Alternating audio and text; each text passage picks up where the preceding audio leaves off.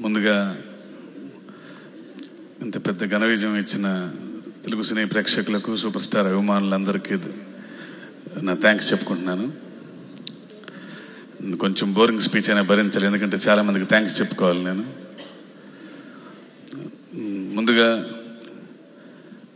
ఈ cinema first నుంచి నా వెన్నంటే ఉన్న మా దానయ్య గారికి ఎక్కడ రాజీ పడకుండా నా కెరీర్లోనే బిగ్గెస్ట్ బడ్జెట్ ఫిల్మ్ ఇది. చాలా ఎక్కువ రోజులు కూడా పట్టింది. అయినా ఏ రోజు ఎక్కడ కాంప్రమైజ్ అవ్వద్దని లాస్ట్ షెడ్యూల్లో కూడా ఇంకొంచెం ఖర్చు ఎక్కువైనా సరే అంటే బాగా ఖర్చైన ఎపిసోడ్స్ అన్ని లాస్ట్ షెడ్యూల్లో పడ్డాయి. ఫారెన్ సాంగ్ కానీ వచ్చాడే స్వామి. అప్పుడు కూడా ఎక్కడ కాంప్రమైజ్ అవ్వకుండా సరే బడ్జెట్ ఎంత అనకుండా చివరిలో మాకంటే ఎక్కువ ఎగ్జైట్మెంట్తో అంత ఎనర్జీతో ఉన్నారు. నిజంగా ఆయన లేకపోతే భరత్ నేను మాత్రం ఇంత అందంగా రాదు. దానయ్య గారు you are one of the best producers in industry మీరు ఇలాగే ఉండాలి. Thank you sir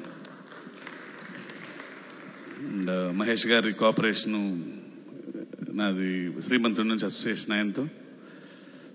Uh, అంటే కథ రా మంచి కథ రాసుకుంటే ఇంకా ఆ తర్వాత పని అయిపోయినట్టు నాకు మ్యాక్సిమం పని. ఎందుకంటే అలాంటి యాక్టర్ ఉన్నారు ధైర్యం ఎప్పుడు చాలా ధైర్యంగా ఉంటాను నేను. ఎంత గొప్ప సీన్ రాసుకున్నా సరే మార్నింగ్ వెళ్ళి షూట్ స్టార్ట్ చేసిన తర్వాత మధ్యాహ్నం తెలిసిపోతుంది. మనం రాసుకున్న దానికంటే చాలా బాగా వచ్చిందని. అలాంటి యాక్టర్ని యాక్షన్ అని చెప్పటం నిజంగా it's dream come true always. Sir hattrick combination కోసం వెయిట్ చేస్తున్నాను. థ్యాంక్ యూ మహేష్ గారు. అండ్ uh, ఇక మా దేవి గారి గురించి ఎప్పుడు నేను సిచ్యువేషన్ చెప్తే నాకంటే బాగా ఎగ్జైట్ అయ్యి నేను ఇంకెంత లౌడ్గా చెప్పాలి. మిగిలిన మిగిలిన టెక్నీషియన్స్ అందరికీ కొంచెం గట్టిగా కట్ చెప్తాను. దేవి గారికి మాత్రం చాలా నీరసంగా చాలా డల్గా చెప్తాను. ఎందుకంటే నాకంటే ఎక్కువ ఎమోట్ అవుతారు సినిమా కట్ చెప్పినప్పుడు. ఈ కట్ చెప్పంగానే ఫస్ట్ థీమ్ సాంగ్ ఇచ్చారు. అండ్ దట్స్ uh, నేను నా సినిమాల్లో అన్నిట్లో అన్నిట్లోకి అదే బెస్ట్ సాంగ్ అది ఇప్పటివరకు. దేవి థ్యాంక్ యూ దేవి గారు. ఇలాంటి సౌండ్ ఇచ్చి భర్తను నేను ఇంత అందంగా చేసినందుకు థ్యాంక్ యూ వెరీ మచ్ మా మా రామజోగి గారు నేనే నేను నాతో పోటీ పడి ఇప్పుడు సినిమాలో సాహిత్యం నా మాట కంటే ఆయన పాట ఎక్కువ బాగుంటుంది ఎప్పుడు. మీరు ఇలాగే నాకు ఇంకా మంచి మంచి పాటలు వేయాలి నేను మీతో ఇంకా పోటీ పడాలి నేను. థ్యాంక్ యూ రామజోగి గారు. అండ్ ఫస్ట్ ఈ సినిమా అనుకున్నప్పుడు పొలిటికల్ ఫిల్మ్ చేద్దాం అనుకున్నాను బట్ ఎలాంటి స్క్రిప్ట్ అనుకున్నప్పుడు మై ఫ్రెండ్ శ్రీహర్ నాను one of the most talented writers in the industry my long time dear friend ఆయనకి మహేష్ బాబు గారు అంటే చాలా స్పెషల్ ఇంట్రెస్ట్ ఆయనకి. కృష్ణ గారి వీరాభిమాని మహేష్ బాబు గారికి ఇంకా వీరాభిమాని ఆయన. అతను ఏ కథ రాసుకున్నా సరే మహేష్ బాబు గారిని మనసులో పెట్టుకొని అనుకుంటారు. ఆ తర్వాత వేరే వాళ్ళకి చెప్తాడు అతను. అంటే అలాంటి యాక్టర్ని దృష్టిలో పెట్టుకుంటే మంచి కథ రాయొచ్చని. ఆయన మహేష్ గారి సీఎం అయితే బాగుంటుంది అనే ఐడియా ఆయనది. నాకు నాకు ఆ ఐడియా తను ఊహించుకున్న విధానం నాకు చాలా బాగా నచ్చిన ఐడియా. థ్యాంక్ యూ హరి నాకు తెలుసు నువ్వు ఎంత కష్టపడ్డావు ఈ కథ కోసం. ఇలాంటి కథని నాకు ఇచ్చి మా వెన్నంటే ఉన్నందుకు థ్యాంక్ యూ వెరీ మచ్ ఇంకా ఇలాంటి స్క్రిప్ట్స్ ఎన్నో మనం కలిసి పని చేయాలి. లాంగ్ వే టు గో ఇంకా పెద్ద పెద్ద కథలు రాయాలని కోరుకుంటున్నాను నేను ఇంకా. అండ్ uh, మా డైరెక్షన్ టీం త్రివేది చైతన్య శ్రావణ్ శ్రీను గణ శేషు మళ్ళీ. వీళ్ళు ఎలా పనిచేశారంటే ఈ సినిమాకి నాకు డిఫరెంట్ ఎక్స్పీరియన్స్ వీళ్ళ వలన. జనరల్గా డైరెక్టర్ అంటే ఆయన చెప్పింది చేసుకుని వెళ్ళిపోతారు. వీళ్ళు అసలు నేను చెప్పింది చేయరు అసలు వీళ్ళు. వాళ్ళ లోపల అన్నీ అనేసుకొని అంటే సరే మన అంటే మమ్మల్ని పెట్టుకుంది వాళ్ళు సారు ఏది తప్పు చెప్పాలి ధైర్యంగా. ఇంక్లూడింగ్ ప్రజ్వల్ వాడు ఫస్ట్ సినిమా ఇది. నేను ప్రసాద్ గారి దగ్గర పనిచేశాను. వాడు నా దగ్గర పనిచేశాడు. ఎందుకంటే బెస్ట్ రౌండ్ ఆఫ్ ఉండదు. వాడు కూడా నాకు అందరూ ఎవరు మొహమాట పడకుండా సెట్లో ఇలా చేస్తే బాగుంటుంది మానిటర్ దగ్గర. సీన్లు ఏమన్నా ఒక డైలాగ్ ఓవర్ డోస్ అయితే ఇలా ఉంటే బాగుండు అని చెప్పి అంటే ఇలాంటి టీం చాలా రేర్ ఉండటం. ఎంత ధైర్యంగా అంటే నాకు కూడా ఒక షెడ్యూల్ తర్వాత ముందు వీళ్ళని సాటిస్ఫై చేయాలనే భయం స్టార్ట్ అయింది నాకు. థ్యాంక్ యూ నా నా అసోసియేట్స్ అనాలా మై క్రియేటివ్ టీం అనాలా లేదా నా డ్రీమ్ టీం అనాలో. మీరు ఇలాగే పని చేయాలి మీరు నా పక్కనే ఉండాలి మీరు. మీరు త్వరగా డైరెక్టర్ లేకపోతే నాకు టెన్షన్ ఈ సినిమాలో నాకు పెద్ద పెద్ద యాక్టర్స్ అందరికీ యాక్షన్ చెప్పే అవకాశం దొరికింది. ముఖ్యంగా మా గురువు పోసాంగ్ గారికి. అంటే నేను ఆయన దగ్గర నేను ఓనమాలు రాసుకున్నాను. అంటే డైలాగులు ఎలా రాయాలి కథ ఎలా రాయాలి ఇమోషనల్ సీన్స్ ఎలా కన్సీవ్ చేయాలి ఇవన్నీ నేర్చుకున్నాను నేను. ఒక డైలాగ్ రాసి ఆయన దగ్గరికి ఆయన ఫ్లోలో మాకు నేను అసిస్టెంట్గా ఉన్నప్పుడు సీన్ చెప్పేసేవాళ్ళు నైట్. అలా ఫ్లోలో మొత్తం సీన్ వచ్చేసేది. ఆయనకి మేము రికార్డ్ చేసుకుని వెళ్ళి మేము రాయాలి. సో ఎక్కడన్నా ఒక రెండు ముక్కలు మేము యాడ్ చేస్తే యాడ్ చేసి ఆయనకి సీన్ పంపించేవాళ్ళం. మేము రాసిన ముక్క ఒకటి ఉంటే బాగుండు ఫైనల్ సీన్లో అనే ఆశ. సో ఏరుకునేవాళ్ళం ఎక్కడో అమ్మ ఈ ఒక చిన్న మొక్క ఉందని. అలాంటి ఆయనకి నేను రాసిన లైన్స్తో ఆయన డైలాగ్ చెప్పించాను నేను ఈ సినిమాలో. దట్స్ ద బిగ్గెస్ట్ అచీవ్మెంట్ మోయా థ్యాంక్ యూ ఈ సినిమాలో నాకు నేను రాసిన మాటలు చెప్పటం నువ్వు. జీవ గారు అజయ్ గారు ప్రకాష్ రాజు గారు శరత్ కుమార్ గారు జయలలిత గారు రజిత్ గారు మీరందరూ ఇలాంటి ఇలాంటి యాక్టర్స్ అందరికి యాక్షన్ చెప్పే అవకాశం దొరికింది నాకు. అండ్ సురేష్ గారు ప్రొడక్షన్ డిజైనర్. అంటే ఫస్ట్ ఈ సినిమాకి నాకు రవికే చంద్రన్ గారు ఆయన రికమెండ్ చేశారు. వెరీ ప్రొఫెషనల్ సాబు గారి దగ్గర పనిచేశారు నేను చాలా సినిమాలకు పనిచేశాను అన్నప్పుడు సార్ నాకు పెద్దగా పరిచయం లేదు కదా అని అని టెన్షన్ పడ్డా. చాలా పెద్ద ఫిల్ము పెద్ద క్యాన్వస్ అని. బట్ వెంటనే ఆయన చేసిన సినిమాలు చూపించారు నాకు రవిచంద్ర గారు నేను వెంటనే పిలిపించాను.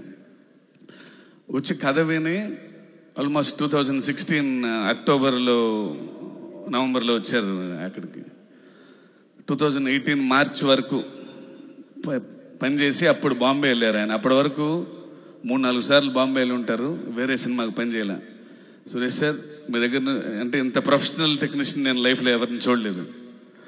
అంటే అతను చేసిన విధానం అంటే ద రీసెర్చ్ హీ డిడ్ అంటే చిన్న ఒక middle class house already existing హౌస్లో కూడా వాళ్ళు చేసే హోంవర్క్ ఆయన టీం గార్గి అమోల్ మాన్సి అంటే వాళ్ళు అంటే ఎలా ఉంటారంటే వాళ్ళు రెడీ అయిన దాకా నేను షార్ట్ పెట్టకూడదు నేను. అంత హార్ష్ వాళ్ళు మొత్తం అంత పర్ఫెక్ట్గా ఫ్రేమ్ ఫైనల్ చేసి చివరికి ఇస్తేనే మేమందరం అప్పుడు షూటింగ్ స్టార్ట్ అవుతుంది. బట్ ఆన్ స్క్రీన్ చూసిన తర్వాత అందరం అనుకున్నాం మేము see your one of the best thank you Suresh sir and your team గారికి thank you very much and my DOPs Ravi K Chandran Tiru Tiru గారితో ఆల్రెడీ పనిచేశాను అంటే వాళ్ళిద్దరూ అంటే లెజెండరీ టెక్నీషియన్స్ వాళ్ళిద్దరితో పనిచేయటం నాకు ఒక ఎక్స్ట్రాడినరీ జర్నీ ఈ సినిమాలో. అంటే తెలియనివి ఎన్ని ఎన్ని నేర్చుకున్నానంటే అంటే సినిమా సినిమాకి నేర్చుకుంటాం కానీ కానీ ఈ సినిమాలు నేర్చుకుంది చాలా ఎక్కువ ఉంది. రవికిచందన్ గారి దగ్గర నుంచి తిరు గారి దగ్గర నుంచి. అంటే నేను ఒకటి అనుకుంటే వాళ్ళు పొద్దున్నే వచ్చి ఒక బ్లాగ్ పెడితే నేను నిజంగా షాక్ అయిపోయేవాడిని నేను. అంటే అంత పొలిటికల్ అథెంటిక్గా వాళ్ళు పెడుతుంటే రియల్లీ అంటే ఇంత మంచి స్క్రిప్ట్ రాసుకున్న తర్వాత ఇలాంటి విజువల్ కదా యాడ్ అవ్వాల్సిందే అని. Thank you Ravi sir thank you Tiru sir. And Srikar Prasad గారు. One of the best technicians in India ఆయనతో పనిచేసే అవకాశం ఇంత ఎర్లీకి వస్తాను అనుకోలేదు నేను.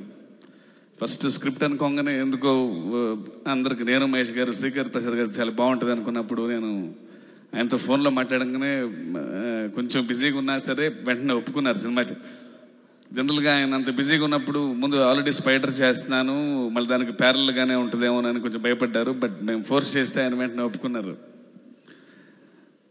అంటే ఇంత పెద్ద ఫిల్మ్ కొంచెం లెంగ్త్ కూడా ఉంది బోల్డ్ సీన్స్ ఉన్నాయి.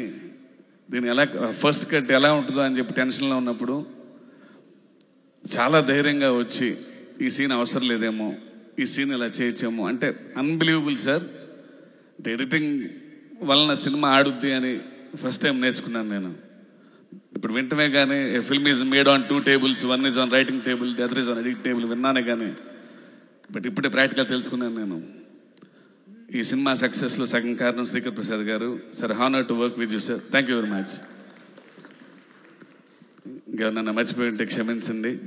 And my publicity team Anurag Vishwa and Sarath first నుంచి ఈ సినిమాకి ఒక డిఫరెంట్ టైప్ ఆఫ్ ప్రమోషన్స్ కావాలని చెప్పి ఫస్ట్ ఓత్ అంటే ఇలాంటి టర్మ్స్ అన్ని పెట్టి నన్ను ఇంకా ఇంకా నన్ను ఎగ్జైట్ చేసిన అందరికీ. మేము నిజంగా అంటే ఇంత బజ్ వచ్చిందంటే మీ అంటే మీ ఐడియాస్ కారణం. Thank you very much and thank you నా డిస్ట్రిబ్యూటర్స్ అందరికీ థ్యాంక్ యూ అంటే నిజంగా వాళ్ళు నాకు ఫోన్ చేసి సార్ ఇంత బాగుంది. ఊర్ల నుంచి ఇలా ఫోన్లు వస్తున్నాయి. మాకు ఇన్ని టికెట్స్ ఆబ్లిగేషన్స్ ఉన్నాయని ఓ టెన్షన్ పెడతా ఉండేవాడిని. బట్ వాళ్ళు ఇచ్చిన ఎంకరేజ్మెంట్ ఆషామాషి కాదు. డిస్ట్రిబ్యూటర్స్ అందరికీ స్పెషల్ థ్యాంక్స్ చెప్పుకుంటున్నాను. అండ్ మిగిలిన క్రూ అంతా మా ప్రొడక్షన్ మేనేజర్స్ అందరికీ స్పెషల్ థ్యాంక్స్ ఎందుకంటే రాత్రి అంటే లాస్ట్ వన్ మంత్ అసలు ఎవరం పడుకోలేదు అసలు. సత్యం గారు కానీ రాజు గారు కానీ బాల గిరి అందరూ ఎవరం పడుకోకుండా రాత్రి వాళ్ళు లాస్ట్ వన్ మంత్ కంప్లీట్గా పనిచేసి ఎక్కడో టెన్షన్ మహేష్ గారు నేను రోజు టెన్షన్ పెడుతుండేవాళ్ళం. అంటే ఒక మంచి సినిమా చేసాము సరిపోతుంది ఏదో టైము. అండ్ ఇలాంటి రిలీఫ్ అంటే చాలా పెద్ద కొట్టాలి ఈ సినిమా అని చెప్పి అనుకుంటుండేవాళ్ళం. బట్ మీ అందరి సపోర్ట్ లేకపోతే మాత్రం డెఫినెట్లీ ఇంత బ్లాక్ బస్టర్ అయ్యేది కాదు. ఇంకెవరన్నా మర్చిపోయింటే క్షమించండి. Thank you very much and చివరిగా అంటే ముందు ఆల్రెడీ ఒక బ్లాక్ బస్టర్ వచ్చేసింది రంగస్థలం. ముందు అది రంగస్థలం రాగానే సగం టెన్షన్ తగ్గింది నాకు. ఒక బ్లాక్ బస్టర్ స్ట్రీక్ స్టార్ట్ అయిపోయింది మళ్ళీ ఇండస్ట్రీకి అని మళ్ళీ విదిన్ నో టైం మళ్ళీ ఇంకో పెద్ద బ్లాక్ బస్టర్ ఇచ్చిన తెలుగు సినీ ప్రేక్షకులందరికీ స్పెషల్ థ్యాంక్స్ చెప్పుకుంటున్నాను. మరొకసారి. Thank you very much